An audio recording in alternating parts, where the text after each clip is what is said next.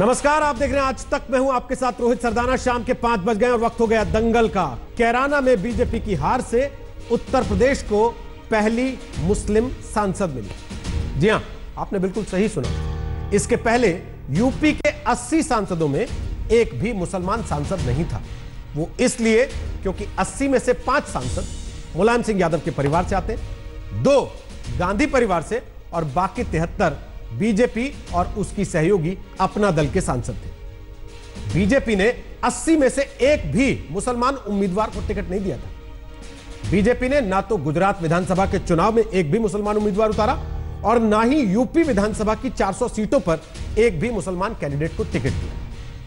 कैराना में विपक्ष की एकजुटता और मुसलमान वोट बैंक को वापस अपनी तरफ़ खींचने में मिली कामयाबी से न सिर्फ़ विपक्ष के हौसले बुलंद हो गए हैं बल्कि इस बात की भी उसे उम्मीद जगने लगी है कि मुसलमान वोट बैंक को 2019 के लिए दोबारा साधा जा सकता है। और अगर मुसलमान साथ दे दे तो नरेंद्र मोदी का रास्ता रोका जा सकता है। विपक्ष को ऐसा क्यों लग रहा है? इसकी वजह भी हम आपको बता देते हैं। यूपी में कम से कम तेरह ऐसी सीटें हैं, जहाँ मुसलमान आबादी 30 परसेंट या फिर इससे ज़्यादा है। एक ग्राफ के ज़रिए हम आपको मुस्लिम बहुल इलाकों के बारे में बताते हैं। बिजनौर, अमरोहा, यहाँ 35 परसेंट से ज़्यादा मुसलमान हैं। मुरादाबाद, अमरोहा, मुरादाबाद और रामपुर, इनमें कम से कम 45 से 50 फ़ीसदी तक मुसलमान हैं। मुजफ्फरनगर, कैराना, सहारनपुर, ये वो सीटें हैं जहाँ पर 35 परसेंट से ज़्यादा मुसलमान आ जाते हैं आबादी के तौर पर। इसके अलावा फिर आप मेरठ पर जाइए तो वो एक ऐसा इलाका है जहाँ 30 परसेंट मुसलमान आबादी हो जाती है। संभल, नगीना, बहराइच, बरेली, श्रावस्ती, ये उत्तर प्रदेश के वो इलाके हैं जहाँ पर एक तिहाई से ज़्यादा मुसलमान आबादी है, यानी कि 30 परसेंट या फिर उससे ज़्यादा मुसलमान इन इलाकों में रहते हैं। और सिर्फ़ उत्तर प्रदेश नहीं, पूरे देश की अगर आप तस्वीर देखते हैं तो 145 ऐसी लोकसभा सीटें हैं जहाँ पर मुसलमान 11 से 20 परसेंट होते हैं, यानी कि एक बड़ी निर्णायक भूमिका में होते हैं। ये तस्वीर हम आपको दिखा रहे हैं। अड़तीस ऐसी लोकसभा सीटें हैं, जहाँ 21 से 30 परसेंट मुस्लिम आबादी है। पैंतीस सीटें ऐसी हैं, जहाँ 30 परसेंट से भी ज़्यादा मुस्लिम आबादी है। और एक सौ तिरासी ऐसी सीटें हो जाती हैं, जहाँ 5 से 10 परसेंट और 142 ऐसी सीटें हैं जहाँ 5 परसेंट से कम मुस्लिम आबादी। तो विपक्ष की रणनीति, कैराना का नतीजा। इस पर आज के दंगल में हम पूछ रहे सवाल कि कैराना का इशारा है, सिर्फ़ मुसलमान ही सहारा है? क्या मुसलमान ही तय करेंगे कि 2019 में किसकी सरकार बनेगी? क्या दलित मुस्लिम का गठजोड़ ही नरेंद्र मोदी को रोक सकता है? क्या बीजेपी अपनी जो पॉलिसी जो गुजरात में दिखाई दी, यूपी में दिखाई दी, नो मुसलमान पॉलिसी, उसको बदलेगी 2019 के पहले? और वोटों का ध्रुवीकरण अगर हो रहा है तो वो विपक्ष को फ़ायदा देगा या नरेंद्र मोदी को फ़ायदा देगा। तो आपको बता दें, हमारे साथ इन सवालों पर बात करने के लिए आज संबित पात्रा है बीजेपी से, कांग्रेस से भी हमारे साथ मेहमान इस वक्त लाइव आ चुके हैं अखिलेश प्रताप सिंह, प्रोफेसर राकेश सिन्हा, आरएसएस के जानकार हैं, तस्लीम रहमानी साहब हमारे साथ हैं, इस्लामिक एक्सपर्ट हैं। इसके अलावा डॉक्टर सैयद रिजवान अहमद हमारे साथ जुड़ेंगे, वो भी इस्लामिक स्कॉलर हैं। संबित पात्रा मुसलमान रोक देंगे आपका रास्ता। कैराना तो यही कह रहा कम से कम। देखिए रोहित भाई, मुसलमान नरेंद्र मोदी जी का रास्ता रोक लेंगे, ये कोई पहली बार ये प्रश्न नहीं पूछा जा रहा है। 2002 से जिस प्रकार से इस प्रश्न को बार बार पूछा गया है और बड़े ही, मैं कहूँगा, बड़े ही पॉइंटेड तरीके से पूछा गया है, ये हिंदुस्तान के लोकतंत्र के लिए अच्छा नहीं है। जहाँ मोदी जी का एक सपना रहा है जहाँ मोदी जी का जो प्रिंसिपल है जिसके आधार पर गवर्नेंस चलता है वह है सबका साथ सबका विकास। उसमें बार बार अगर यह प्रश्न पूछा जाएगा कि अगर एक धर्म विशेष के लोग रास्ता रोक देंगे तो मुझे लगता है इससे कहीं ना कहीं हिंदुस्तान की लोकतांत्रिक समरसता को हानि पहुँचती है। मुसलमान होता तो दो के बाद चुनाव गुजरात में ना उत्तर प्रदेश के लोकसभा चुनाव में। इसका मैं इसका एक भी मुसलमान को टिकट नहीं दिया मैं इसका जवाब दूँगा। फिर आप कहते हैं कि धर्म विशेष का नाम लेके पूछा जाता है जहाँ तक नहीं नहीं, मैं मुसलमान ही कह रहा हूँ, मैं धर्म विशेष नहीं कह रहा हूँ, मैं मुसलमान ही कह रहा हूँ और टिकट नहीं देने वाले विषय पर भी मैं जवाब दूँगा।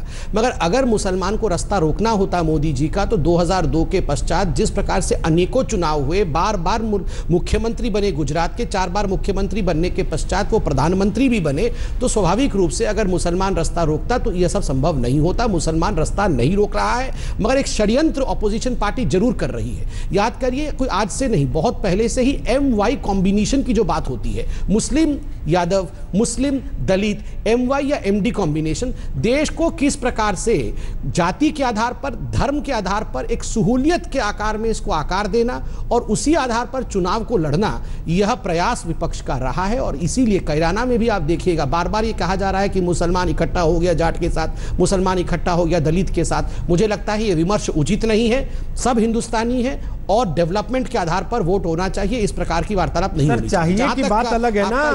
अखिलेश प्रताप सिंह एक सेकंड अखिलेश प्रताप सिंह चाहिए क्या? वो तो बड़ी आदर्श स्थिति हो जाती है। लेकिन होता क्या है? वो तो यही है ना जो आज हम बात कर रहे हैं। इसको नकार सकते हैं क्या? हाँ एकदम आप सही बात एकदम आप सही बात कर रहे हैं। जितने आंकड़े आपने गिनाए इन सब आंकड़ों का एहसास माननीय मोदी जी को हो चुका है। और पिछले डेढ़ दो महीने से हो चुका है। इसीलिए वो मोदी जी अब मस्जिद मस्जिद जा रहे हैं। इसीलिए माननीय मोदी जी रमज़ान की तारीफ़ें कर रहे हैं। इसीलिए माननीय मोदी जी ये बता रहे हैं कि पैगंबर साहब के रा, बताए रास्ते पे चलो। ये परिवर्तन है। आप बहुत लेट स्टोरी कर रहे हैं। वो इसको अब भाप चुके हैं। और भाप चुके के बाद ये अंदाज़ा लग चुका है कि अब बिना इनके मदद के वोट नहीं वोट खिसक चुका है। ये भी वोट चाहिए। अब लोगों को देखना है कि सिर्फ़ धर्म के नाम पे वोट दे देंगे या काम के नाम पे वोट दे देंगे क्योंकि अब तो सरकार का मूल्यांकन होगा। तो वो तो आभास लगा चुके हैं। आज आप बहस कर रहे हैं वो पहले से इसका अंदाज़ा लगा चुके हैं। तो मुसलमान आपको वोट देंगे तो आपको लगता है आप मोदी को बाहर कर लेंगे? सुनिए नहीं सुनिए सुनिए। देखिए अभी जो कैराना में चुनाव हुआ है वहाँ मुस्लिम प्रत्याशी थे। और ये अमित शाह जी और आदरणीय मोदी जी ये सांप्रदायिकता के लेबोरेटरीज के प्रमुख हैं। किस तरह से डिवाइड करके वोट लिया जाता है? और यहाँ पे दंगे के बाद यहाँ पे बहुत बड़ा एक प्रयोगशाला बनी थी बीजेपी की। लेकिन यहाँ के लोगों ने, विशेष तौर से हिंदुओं ने मुस्लिम प्रत्याशी को वोट देके जिता के ये मैसेज दे दिया कि हमारे गंगा जमुनी तहजीब को नहीं बिगाड़ सकते, हम लोग की आँखें खुल चुकी हैं। फ़ायदा तो तुम पाए नुकसान में हम रहे शाहजहां सहारनपुर असामली के लोग। अब हम नहीं इसमें पढ़ने वाले। ये है भारत की संस्कृति। नहीं ये है सभ्यता। सर भारत की हम हम तो सदियों से एक साथ रहते आए हैं सदियों से एक साथ रहेंगे। जहाँ पे जहाँ पे सन सैतालीस में भी कुछ टेंशन नहीं हुआ था उस इलाके में दो तीन वर्षों में टेंशन हुआ। जो लोग सूचियाँ प्रकाशित कर रहे थे पलायन का तो मुजफ्फरनगर के टाइम पर भी था। पलायन कर दिया। नहीं नहीं अखिलेश जी टेंशन मुजफ्फरनगर के टाइम भी था। इन्हीं जाटों और मुसलमानों के बीच में था वही जिनके लिए आज आप कह रहे हैं कि साथ मिलकर वोट दिया है। उसके पहले मैं आपके पास वापस आता हूँ राकेश सिन्हा से एक सवाल ले लूँ। यहाँ पे इंटरप्रेट उल्टा कर रहे हैं। नहीं नहीं मैं कोई इंटरप्रिटेशन नहीं कर रहा। इंटरप्रेटर आप है। मैं केवल सवाल पूछ रहा हूँ। प्रत्याशी को इंटरप्रिटेशन का काम आपका है सर। मैं केवल वोट मैं केवल सवाल पूछ रहा हूँ जो आंकड़ा आ रहा है उसको देखते हुए। राकेश सिन्हा अगर कांग्रेस करती है कि दलित साथ आ गया मुस्लिम साथ आ गया जाट साथ आ गया तो वो सोशल इंजीनियरिंग है। और वही बीजेपी करने लगती है तो कहते हैं सांप्रदायिकता है। तो इसका डेफिनेशन कैसे तय होगा? कौन बांट रहा है और कौन छांट रहा है? आवाज़ नहीं आ रही है। गलत बोला। आपने राकेश जी आवाज़ नहीं आ रही है आपकी। यही जब बीजेपी कर रही थी असेंबली चुनाव में तो बीजेपी और मीडिया के लोग बोलते थे माइक्रो संख्या का खेल हो जाए आवाज़ जा रही है। नकार नहीं सकते। आवाज़ पहुँच रही है। अखिलेश जी इसको आप नकार नहीं सकते। आवाज़ पहुँच रही है। ये सवाल तो आज से नहीं दसियों साल से पूछा जा रहा है कि आप करें तो सोशल इंजीनियरिंग दूसरा करें तो सांप्रदायिकता। संबित पात्रा जवाब देना चाहते हैं क्योंकि राकेश जी की आवाज़ नहीं आ रही संबित जवाब दीजिए। नाम दिया जाता था। देखिए, रोहित जी, हमने शांति से सुना है, अब शांति से जवाब भी दिया जाए। बड़ा आश्चर्य का विषय है, कैराना का विषय आपने उठाया, सही बात है, हम लोग भी देख रहे हैं। और इसमें कोई दो मत नहीं है, कल मैं तबस्सुम जी को सुन रहा था, उनको बधाई हो, उनकी जीत हुई है। मगर तबस्सुम जी से जब पहला सवाल पूछा गया कि आपकी जीत किसके हुआ, आप वो बाइट दिखाइए। तबस्सुम जी ने कहा, रमज़ान रखने वालों ने मुझे वोट दिया। और जिसके कारण मेरी जीत हुई। हाँ उसके बाद उन्होंने जाट भाइयों को भी धन्यवाद दिया, बाकियों को भी दिया, मगर एक आफ्टर थॉट के रूप में दिया। पहला सेंटेंस था, रमज़ान रखने वाले भाइयों और बहनों ने मुझे वोट दिया। अब देखिए, ये दुख का विषय है कि अगर एक कॉन्सोलिडेशन मुसलमान का होता है तो काउंटर कॉन्सोलिडेशन भी होता है। ये गणित हिंदुस्तान की राजनीति में कोई आज से नहीं हो रहा है। अगर एक कॉन्सोलिडेशन होगा तो दूसरा कॉन्सोलिडेशन भी होगा, और ये कॉन्सोलिडेशन की राजनीति अच्छी नहीं कांग्रेस के चरित्र देखिए। कांग्रेस का चरित्र ऐसा है कि हरियाणा में कांग्रेस जाट के साथ खड़ी हो जाती है जाट आंदोलन कराती है और उसमें हिंसा आपको तो उल्टे अच्छा लग रहा होगा कि कंसोलिडेशन हो रहा है मुसलमान का तो काउंटर कंसोलिडेशन आपको फ़ायदा दे सर मैं 20 सेकंड में सर मैं मैं सर मैं दिल खोल के 20 सेकंड में अपनी बात को रखना चाहता हूँ क्योंकि मैं लगता है कि मुझे ये महत्वपूर्ण बात है। ठीक है बोलिए। हरियाणा में जाके कांग्रेस पार्टी जाटों को भड़काती है और जाटों में हिंसा फैला के जाट आंदोलन करवाना चाहती है। ठीक उसी प्रकार किसी राज्य में गुजर आंदोलन करवाने का प्रयास करती है दलितों को किसी प्रकार बरगलाने और भड़काने की कोशिश करती है एस सी एक्ट को लेकर झूठ बोलते हैं राहुल गांधी। दलितों के साथ खड़े हो सकते हैं जाटों के साथ खड़े हो सकते हैं गुजरों के साथ खड़े हो सकते हैं मगर हिंदुओं को आतंकवादी बताते हैं Hindu as a base as a common unity उनके साथ कांग्रेस खड़ा खड़ा खड़ी नहीं होती है। इसे कहते हैं हिंदुओं को बांटना मुसलमानों को एक मुस्त रखना एक धड़ा को लेकर मुसलमान के साथ अटैच करना तो किसी भी राज्य में और उसके आधार पर हिंदुओं को बांटना तो कर्नाटक दुखद में है, काम ये नहीं कर दुखद पाए है, ना। तभी तो मैं- को अलग धर्म देंगे। मैं तस्लीम रहमानी साहब के पास जाना चाहता हूँ उसके पहले अखिलेश अखिलेश प्रताप सिंह आपको जवाब देना चाह रहे हैं। अखिलेश जी बोलिए क्या जवाब दे रहे हैं आप? सुनिए सुनिए देखिए तबस्सुम जी को बोला इन्होंने किस तरह से यहाँ पे बैठ करके भी सांप्रदायिकता का पुट दे रहे हैं? तबस्सुम ने सबसे पहले बोला कि योगी जी को चुनाव में कैसे वोट मांगना है, ये सीखना चाहिए।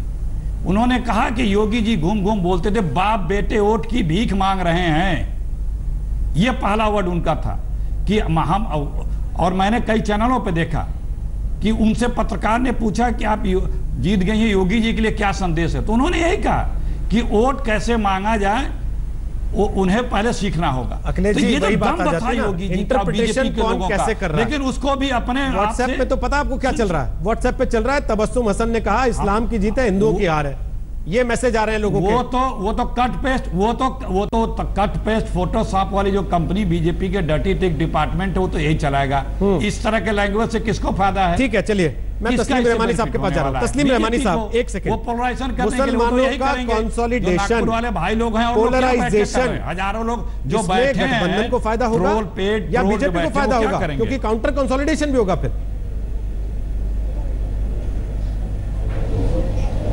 नहीं आपने सवाल पॉलिटिकल लेवल पर है या कम्युनल लेवल पे है? पहले तो यही वाजे कर दीजिए। पॉलिटिकल लेवल पे देश में पहली बार पॉलिटिकल तो लेवल चुनाव पे। नहीं हो रहा। ये तो उन्नीस सौ बावन से अब तो चुनाव लड़ते चले आ रहे हैं। ये पॉलिटिकल लेवल पे कंसोलिडेशन मुसलमानों का तो नहीं हो रहा। पॉलिटिकल लेवल पे कंसोलिडेशन इस, इस ये क्लास आधारित कम्युनिटी है यहाँ मुख्तलिफ़ क्लासेस है मुख्तलिफ़ कास्ट है और उनको आपको मानना पड़ेगा। अगर आप नहीं मानते आइडियलिज्म में जा कहते नहीं नहीं हम सब एक है 125 करोड़ हिंदुस्तानी एक हैं तो आइडियलिज्म खुद आप उस पर प्रैक्टिस नहीं कर सकते। उस आइडियलिज्म पे आप आप जो कहते हैं 125 करोड़ हिंदुस्तानी एक हैं खुद वो नहीं कर सकते। तो जो कास्ट है जो क्लास है उसको आपको एडमिट तो करना पड़ेगा अगर आप राजनीति में हैं। तो बहुत सारी कास्ट बहुत सारी आइडियोलॉजीज और बहुत सारी क्लासेस इनका सम्मिश्रण हो रहा है तो आप सहमत हैं इस बात से कि। मुसलमानों को वोट आप- बैंक की तरह ट्रीट किया जाता रहे। कि 2014 में नहीं मुसलमान किया जाता रहे नहीं मुसलमान जा गया बहुत अच्छा किया अमित शाह जी ने 2013 बल्कि 2012 के बाद से जो पॉलिटिकल स्ट्रेटेजी इख्तियार की वो मुसलमानों के हक में आखिरकार मुफी साबित हो रही है कि उन्होंने आइसोलेट करने की कोशिश की थी। उन्होंने मार्जिनलाइज करने की कोशिश की थी। ही ट्राइड के मुसलमान पुश टू दी वॉल हो जाए। ये पूरी कोशिश की इसलिए हमने 2013 में देखा कि मुस्लिम वोट कांग्रेस को गया तो कांग्रेस हार गई, कुछ नहीं बचा। न दिल्ली में, न जयपुर में यानी राजस्थान में किसी असेंबली में नहीं बचा। इसी तरह बरकस में नहीं बचा। तो इन्होंने आइसोलेट करने की कोशिश की थी। लेकिन मौजूदा जो पॉलिटिकल व्यवस्था बनी है इस व्यवस्था ने मुसलमानों को फिर एक पॉलिटिकल मेन स्ट्रीम में लाके खड़ा किया है। आइसोलेशन में खड़ा नहीं किया है। पोलराइज नहीं किया है। राकेश ये शब्दावली जो इस्तेमाल की जा रही है यही कम्युनल कम्युनल ठीक है मैं राकेश सिन्हा के पास जाऊँ उसके पहले सैयद रिजवान अहमद हमारे साथ आ गए। एक कमेंट सैयद रिजवान अहमद। अगर ये स्थिति है तो फिर फतवों की क्या ज़रूरत है भाई? अगर मुसलमान जाग गया है अगर मुसलमान को यह एहसास हो रहा है तो फिर इमामों से फतवे क्यों आते हैं? कि चुनाव में किसको वोट देना किसको नहीं देना?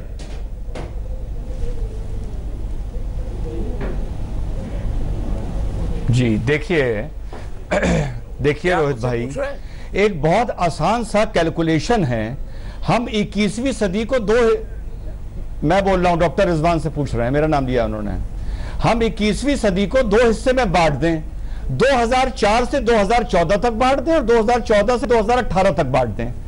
मेरी मुसलमान भाइयों से ये अपील है या कोई भी पॉलिटिकल पार्टी जो ये आरोप लगाती है कि मुसलमानों को साइडलाइन किया जा रहा है, पहले दस साल में कितनी नौकरियाँ आई उसमें मुसलमानों को कितनी मिली? पिछले चार साल में कितनी नौकरियाँ आई मुसलमानों को कितनी मिली? पिछले दस साल में कितने मुसलमान लड़के आतंकवादी बना के पकड़े गए? इस चार साल में कितने मुसलमान लड़के आतंकवादी बना के पकड़े गए? पिछले दस साल में मुसलमान की पर कैपिटा क्या थी? इस चार साल में मुसलमान की पर कैपिटा क्या थी? इस पे कांग्रेस पार्टी एक व्हाइट पेपर इशू कर दे। अगर उस व्हाइट पेपर में यह साबित हो जाता है कि मोदी मुसलमानों को टारगेट कर रहे हैं तो हम खुल के बोलेंगे कि मोदी मुसलमानों को टारगेट कर रहे हैं। आप हवा में नहीं बोल सकते कि मोदी टारगेट कर रहे हैं। आप आंकड़ों के आधार पर पेन पेपर में चीज़ को साबित करिए ना। बोलिए तस्लीम साहब, जवाब दीजिए।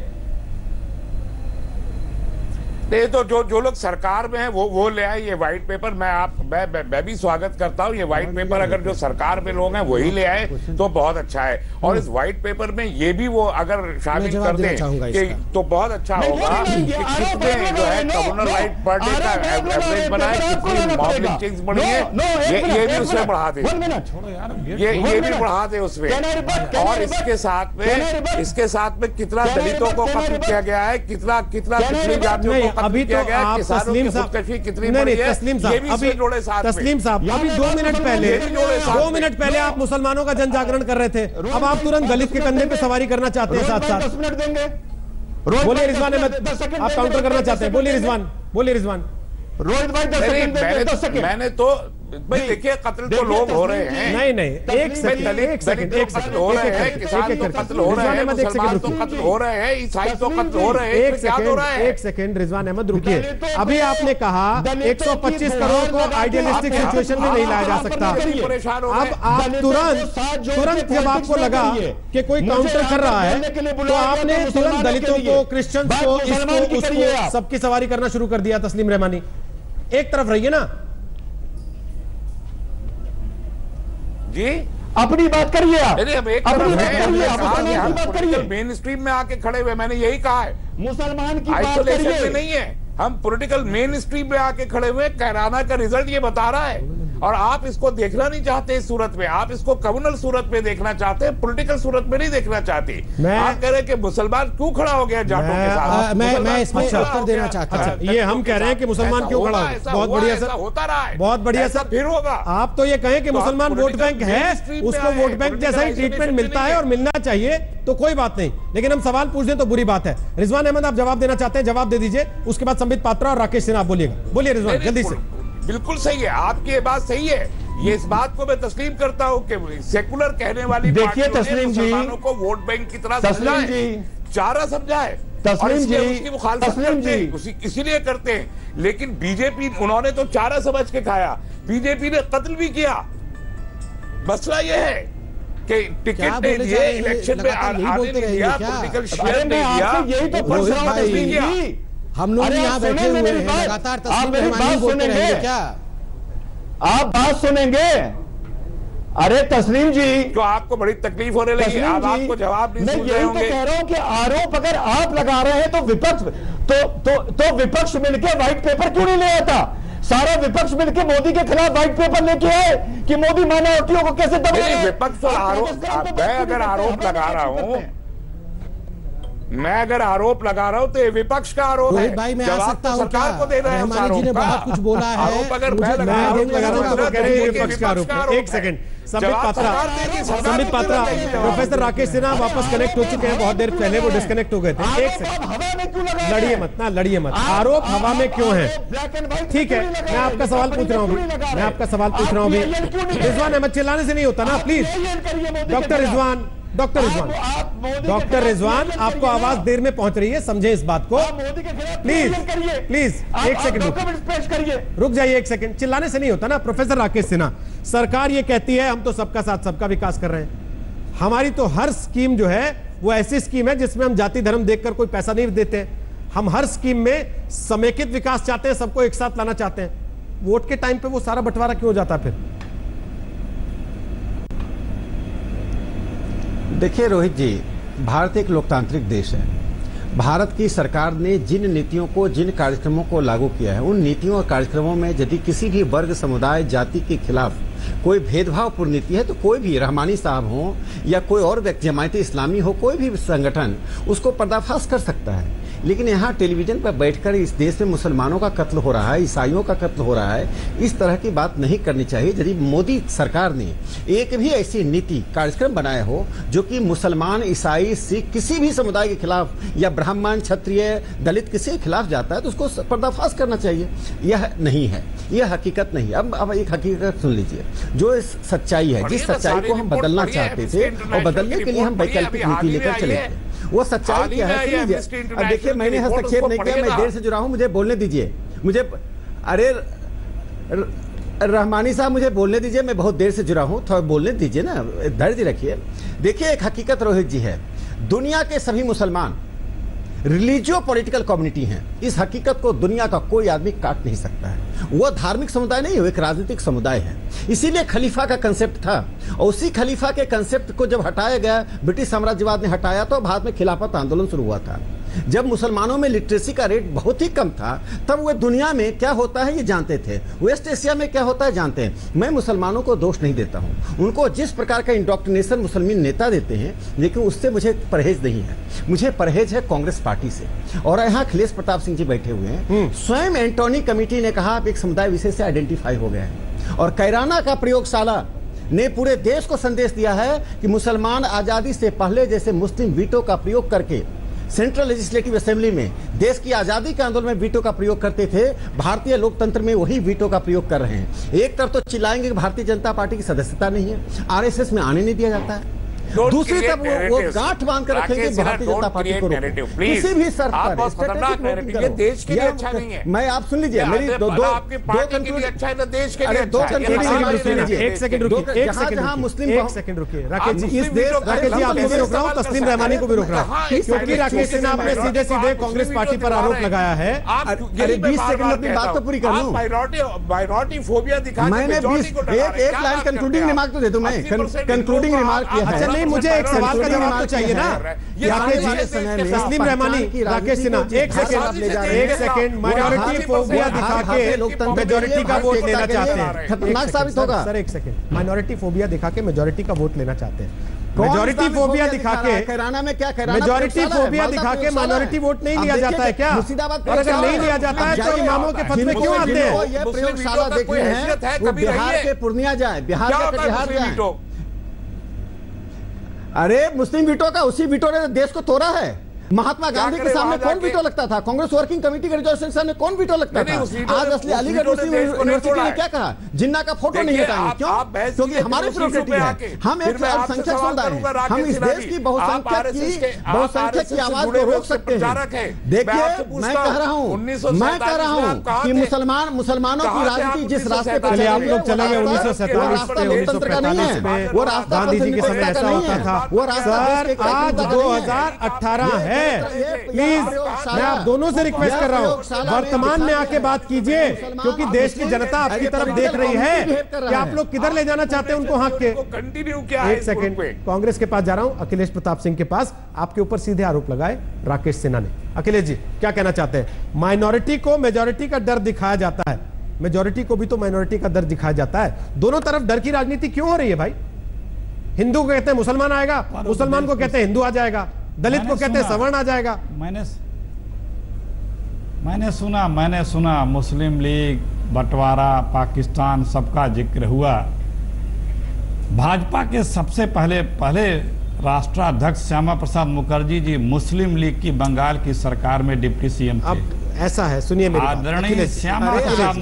एक सेकंड रुक जाइए ना प्लीज़ वो तो मुझे- अखिलेश जी मुझे ये बताइए अखिलेश जी एक सेकंड एक सेकंड रुक जाइए एक सेकंड रुक जाइए एक सेकंड रुक जाइए नहीं, अखिलेश पता जी मैंने राकेश जी को भी रोका तस्लीम साहब को भी रोका है, है एक सेकंड अखिलेश जी अखिलेश जी अखिलेश जी अखिलेश जी मुझे केवल ये बता दीजिए उसी डॉक्टर से अखिलेश जी अखिलेश जी एक सेकंड रुक जाइए हिंदुस्तान में आज़ादी के बाद पहला आप लोग चिल्लाते रहिए चिल्लाते रहिए। अरे मिस्टर आप चिल्लाते रहिए फिर। चिल्लाते रहिए आप फिर बेवजह बेवजह चिल्लाते रहिए। अखिलेश जी अखिलेश जी, ये अखिलेश प्रताप सिंह। कांग्रेस हेडक्वार्टर में अगर आप मुझे सुन सकते हैं 2017-18 में आके बात कीजिए ना सर। राकेश सिन्हा से भी मैं यही कह रहा हूँ कि महात्मा गांधी के सामने क्या हुआ उससे आज फैसले नहीं हो रहे हैं। आज फैसले हो रहे हैं मुजफ्फरनगर में क्या हुआ। आज फैसले ये हो रहे हैं कि दादरी में क्या हुआ? आज फैसले ये हो रहे हैं कि सरकार क्या योजनाएँ ला रही है और गोरक्षकों के नाम पर क्या हो रहा है? इतिहास और वर्तमान में कंटिन्यूटी देखी जा रही है। राकेश सिन्हा जी, राकेश सिन्हा, एक मिनट, एक मिनट, इतिहास नहीं वर्तमान में बात एक मिनट। बोलिए अखिलेश जी बाद आ आपके सकता पास। हूँ। कांग्रेस को बता रहे थे तब तो अच्छा बता रहे थे। और मैंने जब कलई खोलनी शुरू कर दी इन जी के आपके साथ दिक्कत क्या है ना? चलिए मैं वर्तमान में आप प्रवक्ता होना भूल जाते हैं आप कलैया खोलना धोबी पाठ देना इस सब में उलझ जाते हैं। अरे तो उन्होंने तो बताया कि तथ्य रखिए ना अपना। मुद्दे पे बात कीजिए, वीटो 2017-18 में क्या हो रहा है? मुस्लिम लीग के साथ मिलकर के देश बटा उन्होंने ही बताया मैं उसके आगे का बता रहा था। उन्होंने ही बताया था। आप सुनिए हिंदुस्तान में सबसे बड़ी जमात है पार्लियामेंट और विधानसभा। जहाँ पे लेजिस्लेचर बनते हैं जहाँ उससे बड़ी जगह कोई नहीं है। एक पार्टी जिसका ये सोच है जहाँ लेजिस्लेचर बनता हो वहाँ एक वर्ग विशेष के लोगों को न टिकट दिया जाए जिसमें उस लेजिस्लेचर बनाने में उनकी भागीदारी न हो। हाँ, ये। कौन सी पार्टी है? कहिए। अभी आपने नाम लिया वो बीजेपी। आप कह रहे हैं कि मुसलमानों के प्रति अरे भाई आप करो ना आप सत्ता में हो आपका काम बोलता है जैसा करोगे बोलेगा ठीक है। आपको बोलने की आवश्यकता नहीं है ओके। हमने नहीं कहा लेकिन आपने. शुरू में ही ही- ही इसका मतलब कि बीजेपी का ये माइंड सेट है कि जहाँ लेजिस्लेचर second. बनता है उसमें एक वर्ग को पहुँचने ठीक है ओके? संबित पात्रा जवाब दीजिए है? रिजवान साहब रुकिए संबित पात्रा जवाब दीजिए सरदाना भाई हाँ। दस सेकेंड देखिए, मैंने सबको बड़े, एक सेकेंड मैंने सबको बड़े ध्यान से सुना है। अब बहुत संक्षिप्त में मैं अपना उत्तर रखता हूँ। देखिए रोहित भाई, आपने सही कहा कि अभी हाल फ़िलहाल में हमें आके बात करना होगा। बहुत पीछे उन्नीसवीं शताब्दी में जाने से कुछ नहीं होने वाला हाल फ़िलहाल के हिंदुस्तान की राजनीति में अगर किसी शब्द का सबसे ज़्यादा दुरुपयोग किया हुआ है राजनीतिक दृष्टिकोण से तो वो शब्द का नाम है सेक्युलरिज्म धर्मनिरपेक्षता।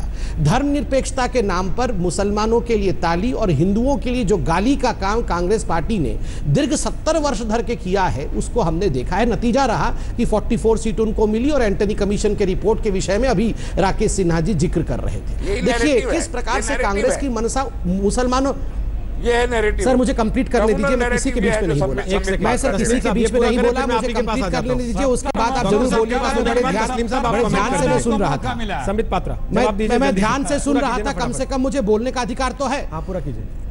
देखिए पहले कि- किस प्रकार की भ्रांति भी बीजेपी के खिलाफ फैलाई गई थी? जब भारतीय जनता पार्टी 2014 में सरकार में भी नहीं आई थी राहुल गांधी ने कहा था बीजेपी सरकार में आएगी तो बाईस हज़ार मुसलमानों का कत्लेआम होगा। मुझे पता नहीं कहाँ से वो संख्या लेके आए थे इले, इलेक्शन कमीशन ने लताड़ा था। हाँ, उस समय उस समय कहा गया था कि भारतीय जनता पार्टी सरकार में आएगी तो जो माइनॉरिटी जो मिनिस्ट्री है उस मिनिस्ट्री को खत्म कर दिया जाएगा मुसलमानों का कोई भी काम नहीं होगा। हमने चार दिन पहले देखा कि जब मुद्रा योजना या उज्ज्वला के माध्यम से प्रधानमंत्री इंटरेक्ट कर रहे थे तो मुसलमान बहिनें बैठी थी। उन्होंने खुद कहा कि हमारे घर में जब सिलेंडर आया तो हमारा घर कैसे बदल गया?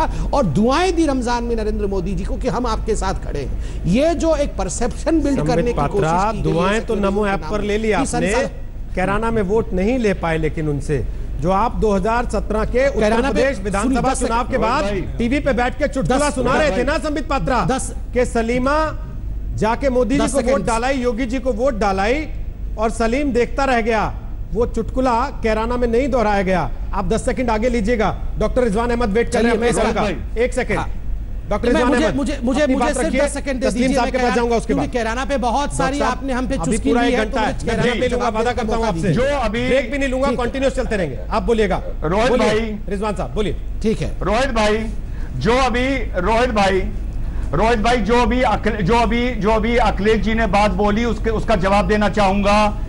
अगर आज मैं एक एग्जांपल दे रहा हूँ, बड़ा साफ़।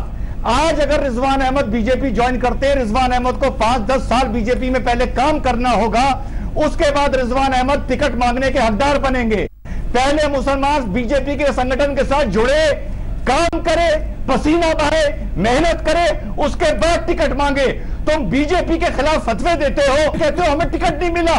कैसी बेवकूफ़ी की बात करते हैं आप लोग? हंसने की क्या बात है इसमें? जवाब हंसने की क्या बात है? जवाब दीजिए। जवाब दीजिए। जवाब एकदम दीजिए। अरे पीड़ित मत हो भाई जवाब दे रहा हूँ? अरे जवाब इतना दीजिए। गुस्से में मत आओ। पहली बार मैंने सुना कि विपक्ष व्हाइट पेपर लाएगा। हाँ, पहली बार मैंने सुना दीजिए। कि विपक्ष व्हाइट पेपर लाए। मुसलमानों के स्थिति पे। दूसरी बात मतलब सत्तर साल में मुसलमानों को बीजेपी ने जगह ही नहीं दिया। आपका कहना तो यही है क्योंकि आरोप आप लोग लगा रहे हैं। क्योंकि आपका कहने का मतलब यही है ना इस बारे करें। इस बारे क्योंकि आरोप लगा रहे? हैं। क्या आप काम हाँ। लोगे? उन पे यकीन करोगे? उन पे विश्वास करोगे? उनको ये नहीं ये कहोगे कि ये मोटर आपकी के वजह से नीचे काम नहीं पिल्ले कर के रहे। बच्चे। करोगे कि मोटर के नीचे अगर पिल्ले के बच्चे को भड़काते करोगे और नहीं कर रहे। कोई। क्योंकि मुसलमान को आप भड़काते हो। आप- आप मुसलमान को भड़काते हो। आप प्यार मुसलमान को भड़काते हो। मजदूर मजदूर नहीं आप एक सेकंड, प्यार तो यही दिख जा रहा है ना। एक सेकंड रुक जाइए ना। प्यार तो आप दोनों का एक सेकंड एक सेकंड एक। अब रुकिए लड़िए मत। लड़िए मत। रिजवान अहमद अखिलेश प्रताप सिंह लड़िए मत। एक एक करके अपनी बात रखते हैं। अच्छा लगता है। अखिलेश जी बोल रहे थे रिजवान साहब बीच में बोलना उचित नहीं था। तस्लीम रहमानी साहब आप बीच में कह रहे थे कि नैरेटिव ऐसे ही सेट करते हैं संबित पात्रा एंटोनी कमेटी की रिपोर्ट तो एंटोनी ने दी थी। वो कांग्रेस पार्टी के नेता थे। तो वो नैरेटिव तो वहाँ से बनना शुरू हुआ ना जिन्होंने कहा कि हमको एंटी माइनॉरिटी छवि का नुकसान हुआ जिसको सुधारने की कोशिश गुजरात में की कांग्रेस ने। एंटी माइनॉरिटी नहीं। एक सेकंड सर। प्रो माइनॉरिटी छवि का नुकसान। सरदारा जी मैं आपकी. बात को रिजेक्ट नहीं करूँगा। इसलिए कि देखिए आप लोग कह ज़रूर रहे हैं ये कि आप माजी की बात ना करें और आज की बात करें लेकिन कहीं ना कहीं ताने बाने माजी से जुड़े हुए हैं। इसलिए उसकी बात कहीं ना कहीं करनी ही पड़ती है। सब मसला यह है कि मैं हमेशा आपके भी पिछले प्रोग्राम में कहा था, उसके पहले भी कहा कि देश में एक राजनीतिक व्यवस्था शुरू से ही बनी ही ऐसी, आज़ादी के बहुत पहले से बनी ही ऐसी है जो कम्युनल है। जिसकी बुनियाद पर देश तकसीम हुआ इस बात के अफसोस होना चाहिए कि देश का ये तो बहुत गलत बात है। मुसलमान के नाम पर जवाब देना है। और मुझे इस बात की हैरत है अफसोस के साथ कि मुसलमान के नाम पर पाकिस्तान बन गया हिंदुस्तान के हिंदू के नाम पर हिंदू राष्ट्र उन्नीस में क्यों नहीं बना ये लोग जो आज तकलीफ़ कर रहे हैं, हिंदू राष्ट्र की बात कर रहे हैं, हिंदू राष्ट्र बनाना चाहते हैं, मैं मैं कहता हूँ बनाइए हिंदू राष्ट्र परिभाषित करके बनाइए। लेकिन वो उन्नीस में क्यों नहीं बनाया था? तब आप कांग्रेस की झोली में जाके आप गिर गए थे। तब और वो कांग्रेस से काम हिंदुओं ने करवाया, आरएसएस को बनाने का काम जो है कांग्रेस से करवाया गया, हार्ड हिंदुत्व का काम। भाई, पंडित मदन मोहन मालवीय तो कांग्रेस ही थे। हिंदू महासभा भी उन्होंने बनाई। पंडित ये अपने श्यामा प्रसाद मुखर्जी साहब जो जनसंघ जिन्होंने बनाई वो तो मिनिस्टर थे। रोहित भाई, कांग्रेसी होने को तो डॉक्टर हेडगेवार भी कांग्रेसी थे एक समय। तो सारे के सारे कांग्रेस पूरी पूरी जो है उन्नीस सौ सर, छियालीस मसला- की मसला- उन्नीस सौ छियालीस में आरएसएस के सारे लोग आज उन लाइंस कांग्रेस पर वोट मांगने का है। तो अब ये आज पूरी कांग्रेस और आरएसएस हमेशा गड़बड़ रही। हमने तो सेकुलरिज्म का अपने ऊपर जो है वो यहाँ बहस आरएसएस के भूत भविष्य और अतीत को लेकर नहीं है ना सर? यहाँ बहस इस बात को लेकर है कि 2019 का चुनाव होगा तो क्या इसी बात पर होगा कि मुसलमान किसको वोट देंगे? संबित पात्रा और आप रोहित करेक्शन कर रहे हैं उसके लिए? इस बात पे रोहित नहीं होगा। भाई मुझे लगता है कि पॉलिटिकली एक सेकंड रहमानी जी आप 24 घंटे नहीं बोल सकते हैं दूसरों को बोलने का अधिकार है थोड़ा शांत रहिए। और दूसरों को भी बोलने दिया जाए रोहित भाई इनको जरा शांत करिए पहले। पात्रा जी, सबके बोलिए। पीछे बोलते हैं बोलिए, बोलिए, बोलिए, देखिए रोहित रोहित भाई रोहित भाई हम सबकी गड़बड़ी में क्या है बताता हूँ। पॉलिटिकली करेक्ट होने की कोशिश में सच्चाई दिल के अंदर जानते हुए भी हम से अधिकांश लोग रखते जी मैं आपके साथ अभी सच्चाई शेयर करना चाहता हूँ। Politically correct. रोहित जी ये रहमानी जी सबके बीच में बोलते हैं। मैं इंतज़ार करता हूँ आप मुझे सेकंड, आप दोनों पढ़े लिखे सभ्य लोग रोहित सरदारा जी तस्लीम हूँ। रहमानी साहब, अगर इनका लहजा और तस्लीम मैं इनके बीच में एक बार भी नहीं। बड़े विषय से हट जाते हैं आप इधर बात करें मैं तो अपनी किसी के बात बीच में नहीं बोल रहा था रोहित भाई आपने मुझे संबित पात्रा को बोलने बोला तो मैं बोल रहा था। आदमी जब बाहर बैठता है स्टूडियो में नहीं होता पात्रा जी देर में आवाज़ जाती है। कई बार नहीं समझ में आता कि सवाल उनको एड्रेस किया गया है या किसी और को। मैं क्षमा माँगता हूँ इस चीज़ के लिए। आप अपनी बात पूरी कीजिए संबित जी। तस्लीम साहब उसके बाद आपके पास आऊँगा। बोलिए संबित। देखिए पॉलिटिकली करेक्टनेस को पॉलिटिकल करेक्टनेस को छोड़ के कुछ बातें जो दिल को छूने वाली है मैं आपसे करना चाहता हूँ। अच्छा। देखिए। आज से सौ साल पहले जो हिंदुस्तान जिसको इंडिया या भारत कहते हैं। आप सोचिए अफ़गानिस्तान से लेकर ये पूरा पाकिस्तान जो है ये भारतवर्ष जो है का नक्शा बता रहे हैं ये सब हम एक ही हिस्सा थे श्रीलंका तक हम प्ल- प्ल- प्लीज़ मुझे मुझे 20 सेकंड बोलने का अधिकार है रोहित भाई बोलने दीजिए। दिल की बात बता रहा हूँ बोलने दीजिए जरा। अफ़गानिस्तान से लेके ये सब ये सौ साल के अंदर मात्र सौ वर्षों के अंदर हम खंड विखंड हो गए। क्या ऐसे ही हो गए? देखिए, आज आप कह रहे ना, मुसलमान इकट्ठा हो जाएगा। हो रहा है, हो जाएगा। क्या हो गया? कह कैराना में आपने उदाहरण देकर दिखा दिया। मगर हिंदू को जब इकट्ठा होने का मौका आता है तो हिंदू दलित बन जाता है, हिंदू ब्राह्मण बन जाता है, हिंदू जाट बन जाता है, हिंदू गुजर बन जाता है। तभी तो ये देश ऐसे खंड विखंड हो गया। तभी तो रहमानी जी आज मेरे ऊपर चढ़ के बैठे हुए हैं यहाँ पर। अगर हम इकट्ठे हो जाते, हम टूटते क्यों जा रहे हैं? हम हम क्यों करते जा रहे हैं? क्योंकि हिम्मत नहीं है इकट्ठे होने की। इकट्ठे हो ही नहीं सकते। हम आपस में मारेंगे एक दूसरे को पहले। हम हम इस देश को तोड़ेंगे पहले। दूसरों के साथ जवाब दीजिएगा। इस देश का सबसे बड़ा दीजिएगा संबित पात्रा। मुसलमान चढ़ के बैठे हैं यहाँ छाती पर। सुन लीजिए? मुसलमान चढ़ के बैठे हैं छाती पर जैसा आपने कहा तो रहमानी ना ना ना ना ना। संबित पात्रा नहीं, हो रहे हैं जानते हैं शब्दों का इस्तेमाल कैसे करना है। बहुत अच्छे से जानते हैं आप। बिल्कुल कहिए ना फिर हाँ, बिल्कुल मुसलमान छाती शब्दों पे चढ़ के बैठे हैं, हम ऐसा मानते हैं। बिल्कुल हैं। ना ना ना ना ना इसका सुनिए सुनिए मैं बता रहा हूँ। मैं इसका उत्तर दे रहा हूँ। राकेश सिन्हा जी ने सही कहा। मुसलमान नेता जो हैं वो चढ़ के छाती पर बैठ के मूंग दल रहे हैं। बेचारे मुसलमान को तो इन्होंने पीछे ढकेल के रखा हुआ है।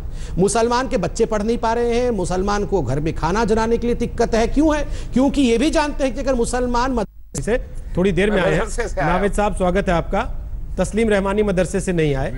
तस्लीम साहब ये इशारा कर रहे हैं।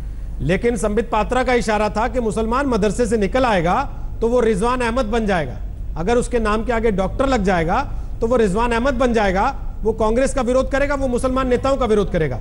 आप इससे सहमत हैं नावेद सिद्दीकी? आप भी कॉन्वेंट एजुकेटेड है, कॉलेज में पढ़े, यूनिवर्सिटी तक गए।